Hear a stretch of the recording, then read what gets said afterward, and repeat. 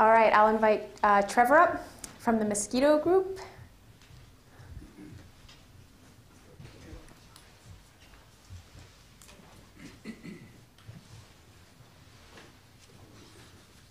So, so we. Oh, yeah. No. It's on. It's on. I, I can just project. No, sorry, I'm sorry, I have to use mic. Hello. Hello. That's it. Yep. Nope. Hello? Hello. It's your force field. The mic was working. Okay. Well, sorry about that. This is the Aedes aegypti mosquito, which was the subject of our uh, uh, very uh, interesting discussion. And one of the things that came out of it, uh, thanks to your, the moderator's uh, mosquito bias, uh, was that one shouldn't assume that something like the mosquito uh, is, a pollu- is, is inherently a polluted image that everybody will agree with. And one of our members, this is uh, David Inu- finger here, and he's holding a mosquito which actually provides a really valuable function uh, in uh, pollinating alpine flowers. So that was something uh, that, uh, that we all learned and was quite interesting. So the object of our discussion was, of course, the introduction of a genetically modified uh, uh, Aedes aegypti, which would uh, be used to suppress dengue fever, which is spreading rapidly in, which is endemic in the developing world, and which has the potential uh, to spread along with other tropical diseases uh, through climate change uh, in uh, America, in the Fl- Florida Keys specifically. Um, the company Oxitec had conducted several uh, sort of introductions of the, of the technology with, with several different engagements of the public, uh, and, uh, and, but was encountering uh, resistance in the Florida Keys. So we explored that within the context of everything that had preceded, uh, uh, with the various tools and con- concepts that we had uh, the previous uh, day. And uh, what we identified as the problems for Oxitec uh, were the following. Um, the target populations in the Keys were not entirely sure about the rationale for the introduction of the mosquito, given that the last case of dengue identified was in 2010. Um, there was also a concern that, uh, and OX513A is the, the specification number, um, uh, it was, wasn't actually focused on the, the, the mechanism of GM, um, but the potential uh, uh, environmental effects uh, of a release, uh, which were sort of unquantified, unknown, hadn't really been adequately addressed. And one of the, one of the key problems in addressing th- those concerns about risk were that, was a sense that the CDC, the EPA, and the FDA, who were all collaborating on a risk assessment, um, were not actually addressing the science communication part of it. They were just maybe doing the science and um, with the, the consequence that everything looked like it was, the, it was falling on Oxitec. Oxitec was responsible for the whole shebang, uh, and uh, people had uh, uh, concerns about that. Um, the other thing is that though Oxitec did engage in social science research, there was a feeling that they needed better survey methodology, uh, or that they needed to be more conscious of the, uh, social, uh, the social science literature, which we'll get to in a moment. And there was also an interesting problem raised uh, about uh, the fact that Oxitec is a company who has interests in both disease and in agriculture, that that could be, you know, uh, the, the, that they could be perceived as, as, as uh, throwing a Trojan horse into the agriculture debate uh, through the introduction of this mosquito. And that was something that hadn't really been thought about, and I thought it was an excellent point. Our conclusions uh, was that, uh, uh, you know, sounds obvious, but not necessarily, be clear about the goals uh, of, uh, of, of science communication, um, uh, understand your audiences, um, don't assume we know how people feel, uh, uh, and that's the sense that, uh, as somebody uh, pointed out, uh, uh, actually it might be redolent of summer for some people to get bitten by mosquitoes. Um, uh, improbable, but not uh, impossible. Um, and uh, uh, how can scientific evidence uh, help to address how people, these people feel? I mean, can we bring good science uh, and frame it in such a way that it addresses uh, uh, their concerns? But of course, in order to do that, we need to know their concerns, hence better social science surveys to begin with.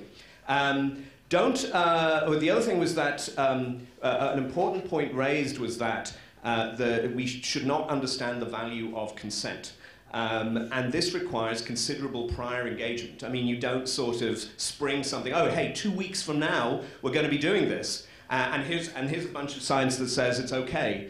Um, uh, this it requires laying a much stronger groundwork, uh, a stronger um, uh, foundation in the community for these kinds of actions.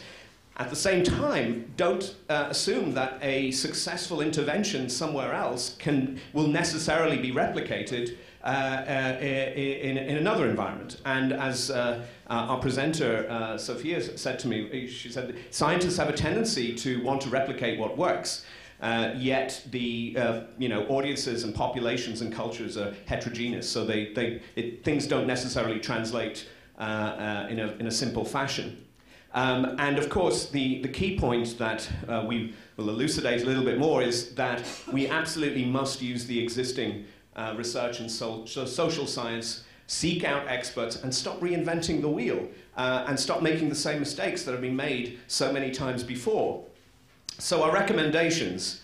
Uh, are pretty straightforward. And this was a, actually a really, this was this, the signal part of the, the discussion, is that um, somebody needs to manage the, the science uh, communication process. Um, and so we emphasize that three times, but who will manage it? And that is the key, that, that is one of the key issues that, that came out of it.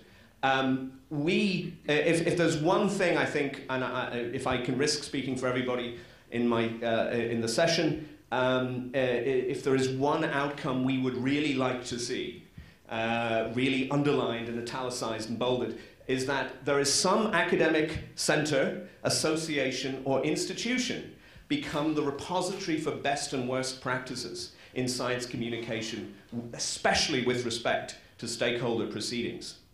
And in doing, creating that kind of center, uh, we need is, is, is vital to creating a culture of science communication such that the lessons of social science research are a starting point for formulating public engagement uh, uh, around potentially controversial science and not an afterthought. Uh, so, um, uh, as, as it was pointed out, you know, we all need toolkits, but who's going to provide the toolkit? The research is there, but who's going to access it? Who's going to supervise it? Who's going to call it in? Uh, um, that requires, I think, institutional leadership uh, or association leadership to anybody who might be a member of the American Association for Advancement of Science that's here, or the National Academies of Science. Great, thank you. Anyone in our mosquito group who would like to add something? Yeah, George? Um, just just to uh, clarify a little bit, if you go back to, I think, your second slide there, um, you, mani- you managed to frame the discussion by calling it the Oxitec project. Mm-hmm. And I think I would have called it the Mosquito Abatement Program, because they're the ones who invited in Oxitec, because that, that to me automatically sets up a whole different um, great, impression. Great point. Um, but that's, that's I think, all I have. Deadline pressures. I know, it's a good luck. Great. Anything? Yeah, Dietram, question? So I'm wondering to which degree, I, I, like the managing the communication process. I'm wondering to which degree in your group the issue came up of us not being the only communicators. If I were to communicate on this issue and if I wanted to do something against this particular technology, I would try to frame it in a way that evokes an underlying cultural schema, and that is being bitten by an insect that's genetically modified, right? And Spider-Man comes up immediately. And, and, and, and playing, and again, this is, this is Bambi, right? This is, we all have it in our heads, and even if we don't actively use it, I can activate it very, very quickly with a good frame. Um, so to which degree did your managing the communication process talk about being ready for a much larger communication environment um, that will frame this issue in a, in a way that plays maybe much more successfully than anything we've heard just now to, to these underlying schemas that all of us, even in this room, share. Well, that's a great point. Uh, uh, and uh, it, to be honest, it, I hadn't, it hadn't occurred to me. I'm not sure whether it occurred to other people that this is a Spider Man could be a Spider-Man issue, a Spider-Man story.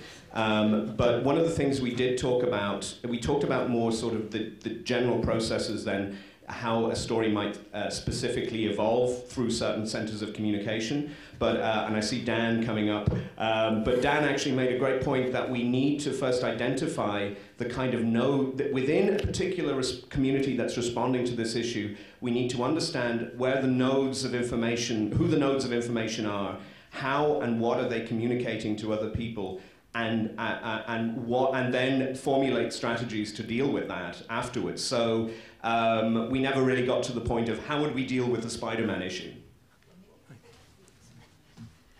That makes me want to have the, the genetically. I want to be Spider-Man. it was also, but we- we also talked about a carbon sequestering mosquito that we might. At least I proposed developing one.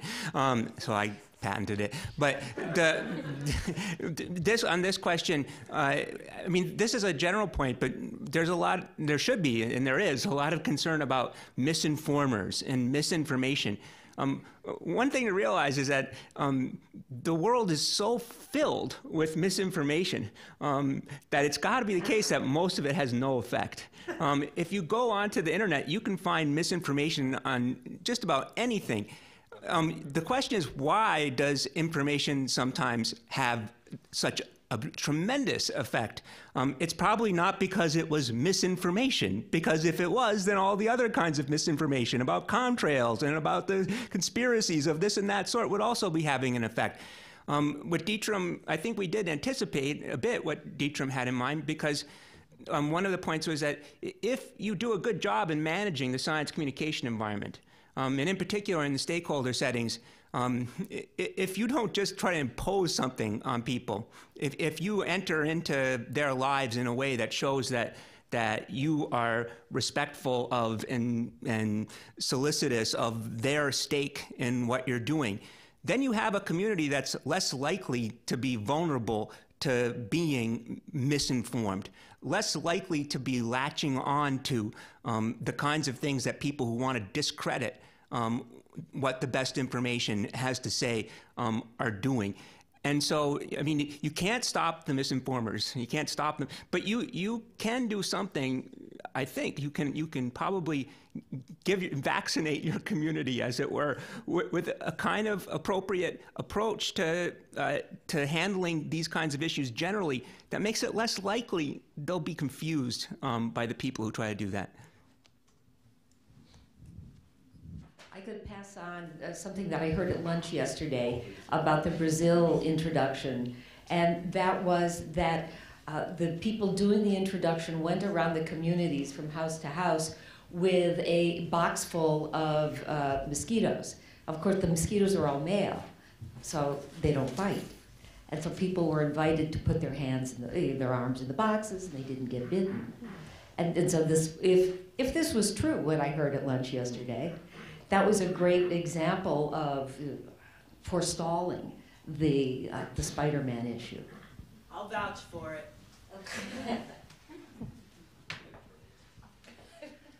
Barbara. Hi, Chris Grace. Is this on? Um, yeah, I can attest to that. So that was part of community engagement. And one of the points that I think was also raised that I just wanted to flag up was really um, engaging citizens in a more interactive way, so promoting more of a dialogue. So having those more interactive events was a part of that.